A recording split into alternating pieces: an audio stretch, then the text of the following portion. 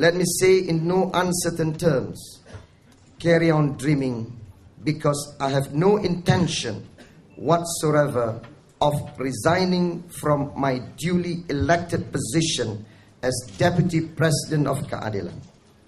Consequently, and even more significantly, I certainly will not betray the trust that has been given to me by the people who have just five days ago elected me to be their state legislative representative as well as their member of parliament.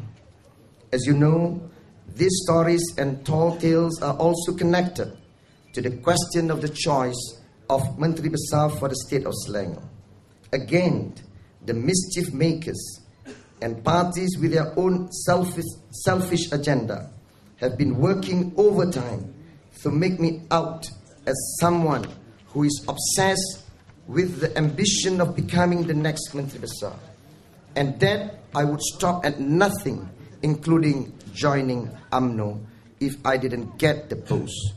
This is a vicious lie as well as insult to my integrity.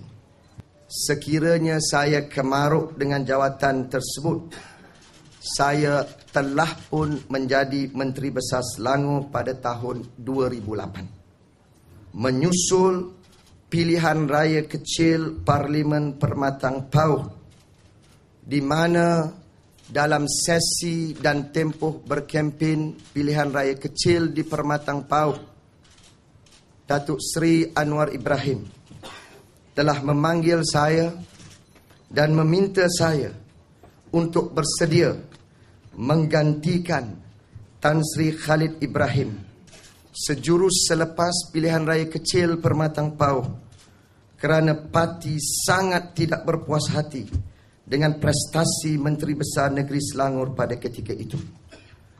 Tetapi saya dengan tegas menolak arahan tersebut kerana ianya akan menggoncang kestabilan parti.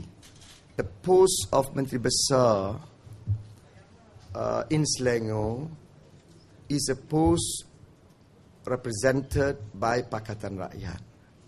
So certainly we need the consensus among Pakatan Rakyat.